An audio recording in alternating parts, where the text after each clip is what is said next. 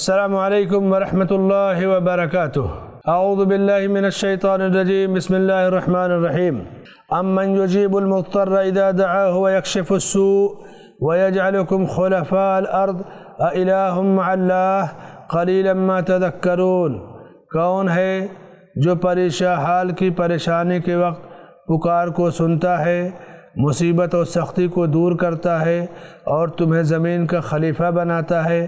کہ اللہ کے ساتھ اور کوئی ہے؟ تم بہت کم یاد رکھتے ہو۔ سمعین کرام عزیز اور دوستوں، بزرگوں اور بھائیوں، اس سے پہلی نشست میں ہم نے دو سوال اور سوالیہ انداز میں اللہ کی، اللہ نے جو اپنی توحید بیان کی، اس کا ذکر کیا تھا۔ اب تیسرا سوالیہ انداز جس میں اللہ نے سوال کے ذریعے اپنی توحید کو ہمارے ذہن و دماغ میں بٹھانے کا ہمارے لیے انتظام کر رکھا ہے۔ وہ ہے ام من یجیب المضطر اذا دعاه ويكشف السوء۔ جب آدمی ایک دم پریشان ہو جاتا ہے، مضطر، ایک دم تڑپتا ہے، بے چین ہو جاتا ہے۔ جیسے آج کل ہوتا ہے نا، آکسیجن کی کمی کی وجہ سے سانس پھول رہی ہے، جان نکل رہی ہے۔ یا آدمی پیاس کی وجہ سے صحرا میں پھنس گیا، پیاسے مر رہا ہے۔ سمندر میں جہاز ہچکولے لے رہا ہے، اب وہ کشتی ڈوب جائے گی۔ ہوائی جہاز میں انجن فیل ہو گیا اور طوفان آدھی آ گیا، آدمی بالکل مستر کہ اب کہیں سے بچنے کا کوئی راستہ نہیں ہے۔ اب ایسے وقت میں بندہ جب پکارتا ہے تو وہ ہے مستر کہ اب جان جانے والی ہے۔ فرمایا ام من یجیب المستر اذا دعاہ ویکشف السوء۔ جب پریشان، حال اپنی بڑی پریشانی میں پکارتا ہے تو کون ہے جو اس کی سختی کو دور کرتا ہے؟ اور پھر یہی نہیں، تمہیں زمین کا خلیفہ بناتا ہے۔ یہ اللہ کی اتنی بڑی زمین ہے جب سے دنیا بنائی، کتنے بادشاہ آئے، زمین میں کتنے ملک ہیں، کتنے حکمراں آئے، کتنی کرسیاں آئیں کتنے وزیر آئے، کتنے منسٹر آئے، کتنے چیف منسٹر اور پتہ نہیں کتنے، کیسے کیسے منسٹر، ہر ملک کا الگ الگ نظام۔ زمین میں تمہیں جانشینی اور خلافت دیتا ہے، حکومت دیتا ہے کہ اللہ کے ساتھ اور کوئی ہے۔ تو تم بہت کم اسے یاد کرتے ہو۔ تو اللہ نے یہاں پریشان حال کی پریشانی کا ذکر کر کے اپنی توحید کو سمجھایا۔ پریشان حال کون ہے؟ پریشان حال کی دو صورتیں۔ ایک تو وہ جو آفت یا مصیبت میں گھر گیا، جیسا کہ میں نے ذکر کیا کہ کشتی میں ہے، سوار طوفان آ گیا، جہاز میں ہے یا جان نکل رہی، ایک تو یہ۔ دوسرا پریشان حال یہ ہے کہ طاقتور کمزور کو ستاتا ہے اور کمزور کے پاس کوئی دوسری طاقت نہیں جو اسے بچا سکے۔ جیسے بہت سارے جگہ پہ ہوتا ہے نا، کسی انسان کو گھیر کر کے لوگ مارتے ہیں۔ وہ اتنا کمزور ہے کہ کوئی اس کا ساتھ دینے والا نہیں۔ تو اسے کہتے ہیں مظلوم۔ اللہ کے نبی صلی اللہ علیہ وسلم نے فرمایا کہ وَاتَّقِ دَعْوَةَ الْمَظْلُوم۔ مظلوم کی آہ سے بچو۔ وہ بھی مستر ہے، پریشان حال ہے، کوئی سننے والا نہیں۔ کون سنتا ہے اس وقت؟ اللہ تعالیٰ سنتا ہے۔ کیسے سنتا ہے؟ اس کا علم اللہ کے پاس ہے، لیکن اس کی آہ آسمان کی طرف جاتی ہے۔ وَاتَّقِ دَعْوَةَ الْمَظْلُومِ فَإِنَّهُ لَيْسَ بَيْنَهَا وَبَيْنَ اللَّهِ حِجَاب۔ مظلوم کی آہ سے بچو۔ صحیح بخاری کتاب المظالم میں حدیث بھی ہے کہ مظلوم کی آہ سے بچو، اس لیے کہ اس کی آہ اور اللہ کے درمیان کوئی پردہ نہیں ہوتا۔ دوسری حدیث میں ہے کہ فَإِنَّهَا تَسْعَدُ إِلَى السَّمَاءِ كَأَنَّهَا شَرَارَةِ۔ مظلوم کی آہ اور بد دعا آسمان پر ایسے جاتی ہے جیسے چنگاری۔ تیسری حدیث میں فرمایا، اللہ تعالیٰ مظلوم سے کہتے ہیں کہ لَأَنصُرَنَّكْ وَلَوْ بَعْدَ میں ضرور تیری مدد کروں گا چاہے تھوڑی دیر کے بعد ہی۔ یعنی مظلوم کی مدد۔ مظلوم اگر مشرق بھی ہوتا ہے، کافر بھی ہو، مومن ہو، موحد ہو، کوئی بھی ہو، مظلوم ہے تو اللہ اس کی ضرور مدد کرے گا۔ مظلوم کی مدد اللہ تعالیٰ اس کی محبت میں نہیں کرتا ہے۔ بلکہ دنیا میں عدل کے نظام کو قائم کرنے کے لیے، عدل کے قیام کے لیے اس کی دعا قبول کرتا ہے۔ کسی انسان کو حق نہیں کہ طاقت دے دی جائے تو کسی پر ظلم کرے، کسی کو مارے اور کسی کی جان لے لے۔ تو مظلوم کوئی بھی ہو، اس کی اللہ ضرور مدد کرے گا۔ عدل کو قائم کرنے کے لیے، اپنے نظام کو نافذ کرنے کے لیے۔ تو امن یجیب المضطر اذا دعا۔ ایسے بت کھڑے رہتے تھے، بت سامنے ہیں۔ ایسے ہی اور الگ الگ معبود سامنے ہیں۔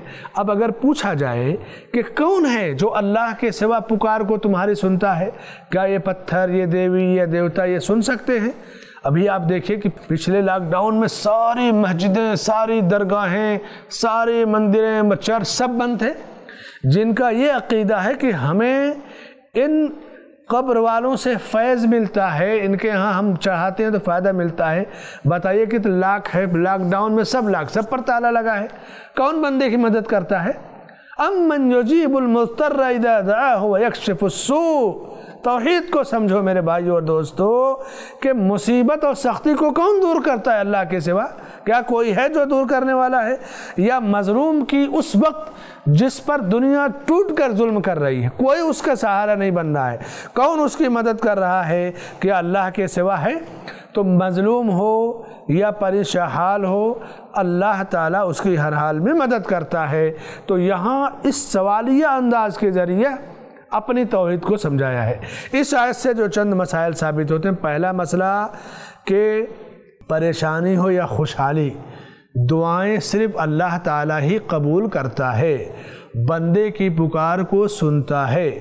وَإِذَا سَأَلَكَ عِبَادِ عَنِّي فَإِنِّي قَرِيب اجیب دعوت الداعی اذا دعان فلیستجیبوا لی ولیؤمنوا بی لعلہم یرشدون دوسرا مسئلہ کہ مظلوم چاہے مومن ہو یا کافر، اس سے نہیں فرق پڑتا ہے۔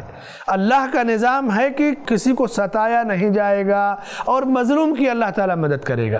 یہ کتنا پیارا نظام اللہ تعالیٰ کا ہے کہ ہر حال میں مظلوم کی مدد کرتا ہے۔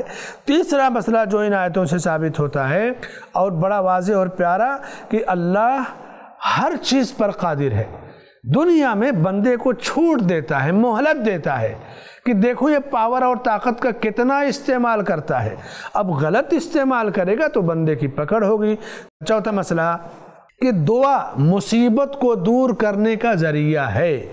امن یجیب المضطر اذا دعا ویکشف السو یہ کتنا واضح مسئلہ ہے کہ جب اسے کوئی پکارتا ہے مستر پریشحال تو پکارتا ہے تو اس کی مصیبت کو، سختی کو کون دور کرتا ہے؟ یعنی پکارنا یا دعا کرنا، یہ مصیبت کے ازالے کا سبب ہے۔ یہ چوتھا اور بڑا واضح مسئلہ ثابت ہوتا ہے۔ چوتھا مسئلہ، پانچواں مسئلہ کہ اللہ کی رحمت اللہ کے غضب پر غالب ہے۔ یعنی اللہ کی رحمت وسیع ہے اور اللہ کی رحمت ساری چیزوں پر محیط ہے۔ چھٹا مسئلہ جو ان آیتوں سے ثابت ہوتا ہے وہ یہ کہ انسان کے اوپر لازم اور ضروری ہے کہ چاہے وہ خوشحالی ہو یا پریشہ حالی ہر حال میں اللہ کی طرف رجوع کرے۔ رجوع کرے اللہ کی طرف، اللہ تعالیٰ خوشحالی ہے تو باقی رکھے گا، برکت دے گا، اس کو بڑھا دے گا۔ اور شکریہ ادا کرے خوشحالی کا پریشہ حالی ہے، مصیبت ہے، تو اللہ کی طرف رجوع کرے، اللہ تعالیٰ اس کی مصیبت کو دور کرنے والا ہے۔ اللہ تعالیٰ اس سوالیہ انداز کے ذریعے اپنا احسان جتاتا ہے بندے پہ۔ احسان کو یاد دلاتا ہے۔ کیوں؟ اللہ کو بھول جائیں گے تو اللہ اپنا احسان یاد دلائے گا۔ کیوں؟ الہ مع اللہ۔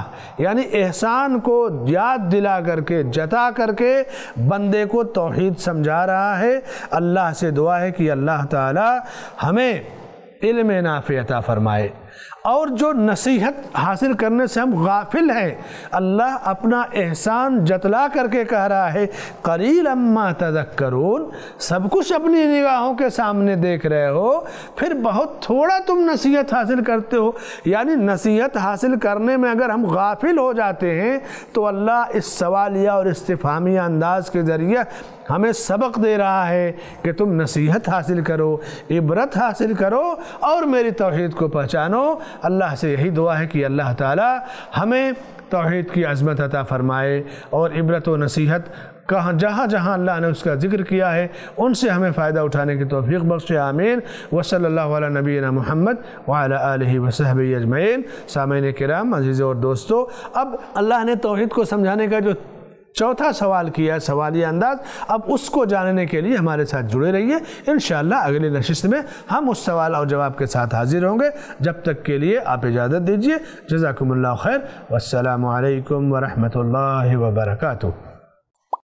دین کی بات عام کرنے میں آئی پلس ٹی وی کی مدد کریں۔ پے ٹی ایم یا گوگل پے کے لیے ہمارے نمبرز پر ٹرانسفر کریں۔ ایسے ہی اور ویڈیوز بنانے میں ہماری مدد کریں۔